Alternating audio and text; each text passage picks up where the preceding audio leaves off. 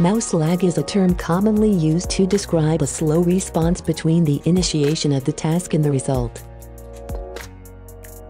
First let's reinstall and update your mouse driver.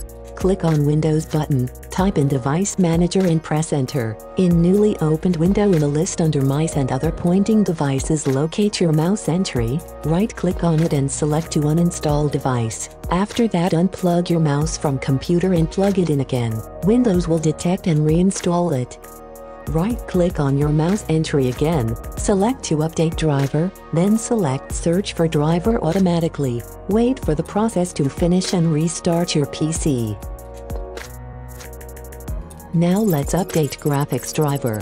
Click on Windows button, type in Device Manager and press Enter. In newly opened window in the list, under Display Adapters locate your display adapter, right-click on it and select Update Driver. Then select to search for driver automatically, wait for the process to finish and restart your PC.